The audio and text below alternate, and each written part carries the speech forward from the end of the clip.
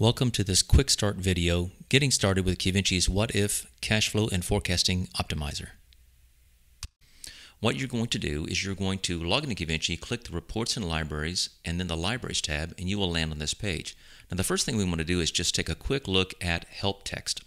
So clicking the Using What If link here is going to bring up a help desk article for you.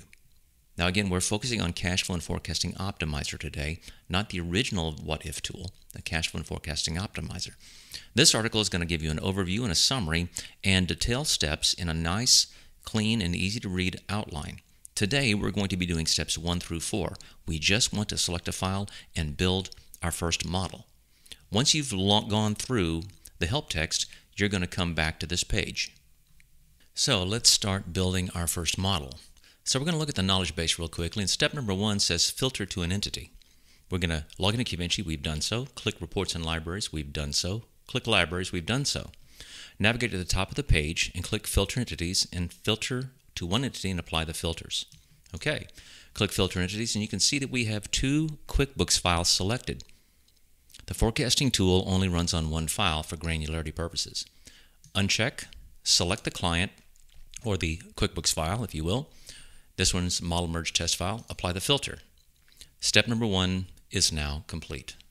At this point, we're ready to create the model. So, looking at the help text again, we want to open the What If Forecast template. We navigate to the QVinci Gallery, search for the Cash Flow and Forecasting Optimizer, and click the Preview button. As you can see, after we close the prior screen of filter entities, we are already sitting in the gallery. All you really have to do is type what and it's going to show you um, the versions of what if. Now we are focused on cash flow and forecasting optimizer. So all we need to do at this point is click the preview button. And in a matter of seconds, the template will be created for you. Okay, at this point the model is created. We just haven't set any options yet. So let's take a look at the help text and see what we're supposed to do.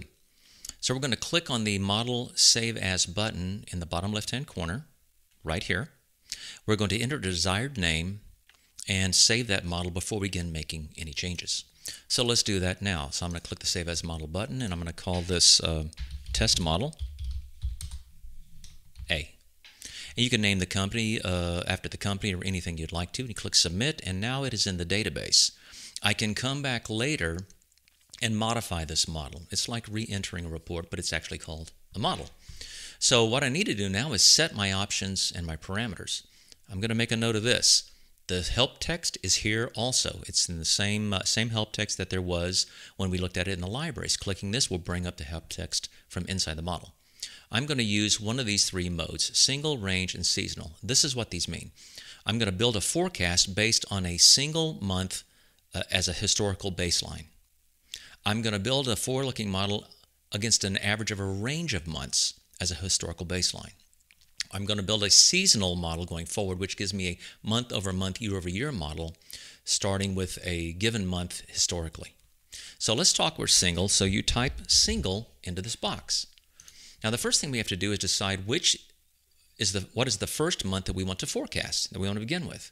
So I'm going to begin with by typing in July, JUL 2020.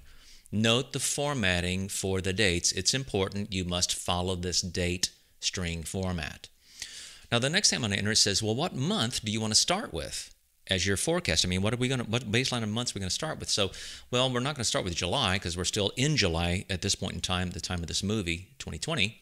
So I'm going to pick May of 2020 because uh, that was a pretty good average month. And I hit the enter key. The forecast is now created. These bars show you actual versus what if forecasts. So as I move through the QVinci uh, template, the model, you can see I've got the chart of accounts for that file. I've got the May actual P&L data for that file. I've got July actual data for that file. And July's what if is based on May's results. And it is based on May's results by changing these what if percentages. Well, you may say, you know what? Um, July is, uh, you know, maybe a kind of a bad month, and let's say historically, these are fictitious files. So, let's say that um, you said um, my fee-for-service income. I don't think I'm going to do quite as well. You could put in 80%, And what happens is it adjusts the what if value for that account for that month. You rinse and repeat. You do this for every month going forward, whatever you want it to be, for every account in the QuickBooks file that was synced out. And it will affect the running cash balance up here. Because what we're doing is we're starting with a snapshot of actual, but projecting forward based on it. Well, we know that as we move through this thing, and, and, these are fictitious files, in the real world, this cash balance may be bleeding down very rather rapidly, and we don't want that to happen. We want to avert any of those kinds of issues. So we go through each one of these accounts and we say, you know what? I'm looking through the chart of accounts down here, and oh, I've got consulting. I spent twelve thousand two seventy two a month. You know, I might suspend that expense, so I type zero, and I enter zero in the months I actually care about going forward because I may bring it back later, but I'm certainly not going to do it now. And as I make these changes, they turn red, and it affects the running cash balance. You go through this exercise you can have as many models as you want a pessimistic model, or an aggressive model, an optimistic model, an average model. You can have as many models as you want. And you go through this making these changes to the results based on, you know, starting month. Well, there's going to be some things that are going to possibly happen in the future that are not in your QuickBooks file at this point. And that's what this section, the other accounts section, is all about. You know, I, I, I, I'm going to get a PPP loan, I believe. So I type PPP loan in, and I'm going to get that in um, this month, and uh, it's going to be $75,000. So I'm going to key $75,000 in. And when I do, it bumps the running cash balance that I'm going to see on these bars at the top. I see a running cash balance numbers down here.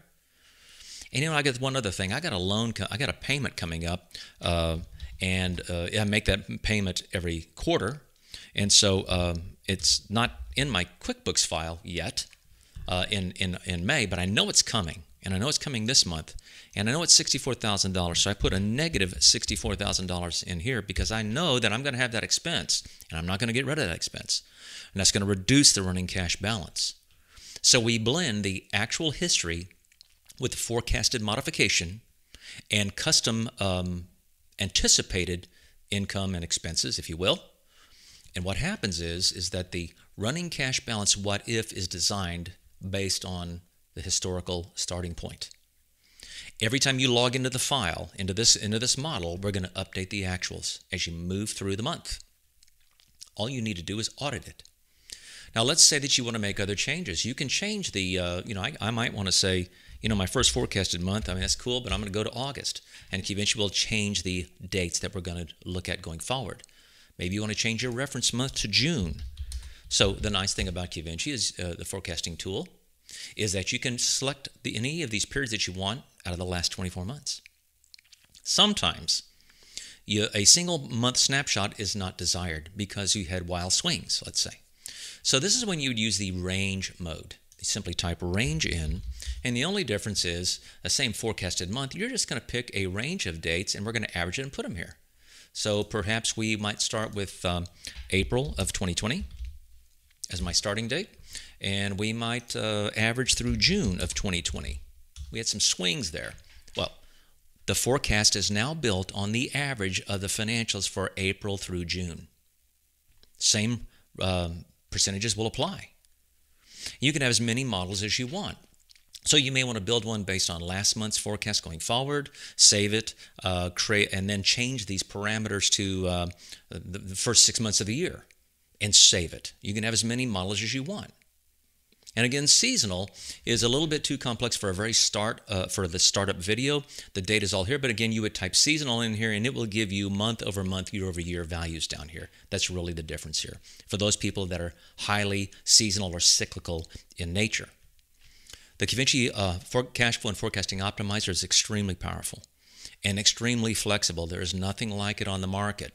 And as you begin to make these changes historically, and you begin to look at the data and analyze it and, and monitor it, more importantly, going forward, we're going to give you these performance metrics across the top here.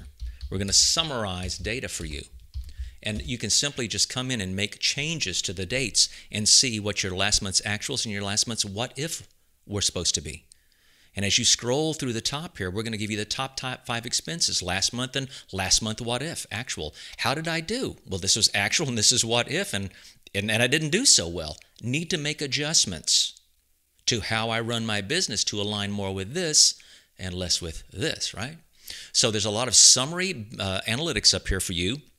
And it's just as simple as logging in, taking a look, and changing a handful of numbers. We know you're going to enjoy this tool. It's very, very powerful. If you need help, help can always be found on the QVinci website or from in the app by engaging our customer success team. We hope you have a great day. We're here to help you. Have a good day.